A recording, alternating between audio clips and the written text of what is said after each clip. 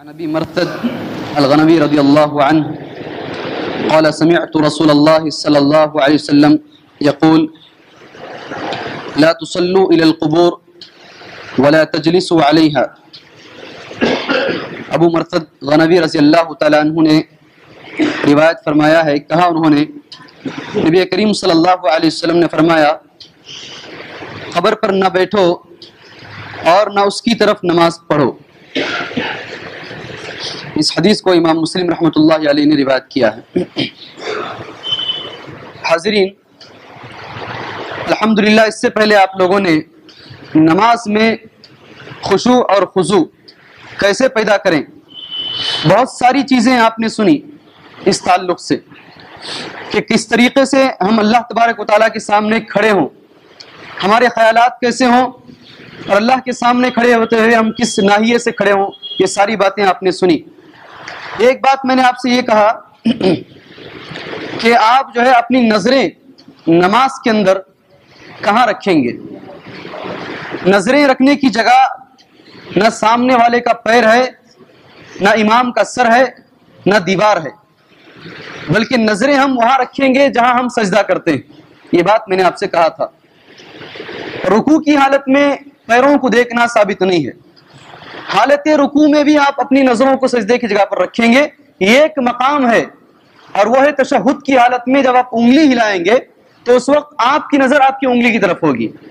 इसके अलावा कहीं भी पूरी नमाज़ के अंदर आप अपनी नज़रों को सजदे की जगह से नहीं हटाएँगे। ये कहने के बावजूद बहुत सारे हमारे साथी ऐसे हैं, जो बराबर अपनी ही चीज़ों पर अमल करते हुए आते हैं। लाख उनके सामने हम सर फोड़ लें लाख उनके सामने हम अहादीस की अंबार लगा दें, फिर भी वो वही करेंगे जो वो करते आए एक बात सुन लीजिए आप, नमाज़ का हुक्म अल्लाह तबारक ताला ने आसमान में बुला कर दिया है, जानते हैं नहीं? नमाज़ का तरीका अल्लाह तबारक ताला ने हज़रत जब्राइल अलैहिस्सलाम को भेज करके दुनिया में सिखाया है कि नमाज़ वैसे पढ़े, जैसे अल्लाह ने सिखाई है, नमाज़ का तरीका रसूल सल्लल्लाहु अलैहि वसल्लम के इख्तियार में भी नहीं है। नमाज़ का तरीका अल्लाह के नबी सल्लल्लाहु अलैहि वसल्लम के इख्तियार में भी नहीं है। अल्लाह तबारक ताला ने हज़रत जिब्राइल अमीन अलैहिस्सलाम को भेजा, उन्होंने नमाज़ का तरीका सिखाया। उस तरीके पर अल्लाह के नबी सल्लल्लाहु अलैहि वसल्लम नमाज़ पढ़ी। और हम तमाम लोगों के लिए अल्लाह के नबी सल्लल्लाहु अलैहि वसल्लम ने एक हदीस कही है, सल्लू कमा उसल्ली। जैसे मुझे नमाज़ पढ़ते हुए देख रहे हो, यानी अल्लाह के नबी सल्लल्लाहु अलैहि वसल्लम का कौल है, वैसे तुम नमाज़ पढ़ो। सुना है नहीं सुना है इसको। जब इतनी बातें हैं नमाज़ वहाँ फ़र्ज़ हुई है। नमाज़ का तरीका हज़रत जबराइल ने सिखाया है। और हमारे लिए अल्लाह के नबी सल्लल्लाहु अलैहि वसल्लम की ता, ये तालीम है कि तुम नमाज़ वैसे पढ़ो जैसे मुझे देख रहे हो। इसके बावजूद आपसे हज़ार मरतबा कहा जाता है कि आप सुतरे से करीब हो जाइए लेकिन फिर भी आप वही नमाज़ पढ़ेंगे जैसे पढ़ते हुए आए आपके सामने हज़ार मरतबा कहा जाता है कि आप अपनी नज़रों को सजदे की जगह पर रखिए, लेकिन आप नहीं रखेंगे। आप नज़रों को पैरों पर ही रखेंगे, इसलिए कि आपने अपना दिन बना लिया है। आपका दिन अलग है, मोहम्मद का दिन अलग है। हम गैरों पर उंगलियाँ उठाते हैं। यह भी तो हदीस है, इस पर अमल क्यों नहीं करते हो? भाई जवाब दीजिए। उंगलियाँ गैरों पर उठती हैं। ये सारी हदीस हमारे सामने मौजूद है, अमल क्यों नहीं है हज़ार मरतबा हमने सुना है। फ़र्ज़ नमाज़ के बाद या कोई भी नमाज़ के बाद जितनी देर तक आप बैठे रहेंगे रहमत के फरिश्ते आप पर रहमत की दुआ करते रहेंगे। क्यों भाई? आप अहले हदीस नहीं है? इतना जल्दी उठ करके भागते हैं?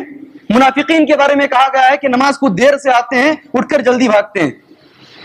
मुनाफिकीन के बारे में कहा गया है, नमाज़ को देर से आते हैं उठ करके जल्दी भागते हैं। हमको मुनाफिकों का अमल पसंद है। अल्लाह के नबी सल्लल्लाहु अलैहि वसल्लम का अमल हमको पसंद नहीं। फिर भी हम पक्के अहले हदीस हैं।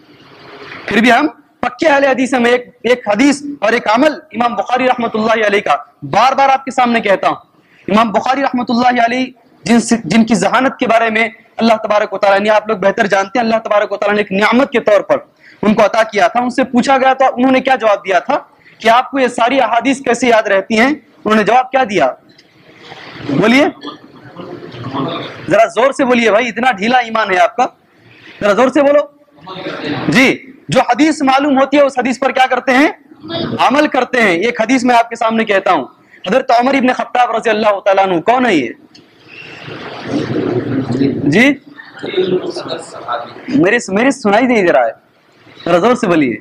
नहीं, ये उनकी तारीफ़ नहीं हुई। बड़े जलील कदर साहब सारे साहबा बड़े हैं। जी, खलीफतुल मुस्लिमीन भी नहीं हुई। खलीफा सानी, दूसरे खलीफा।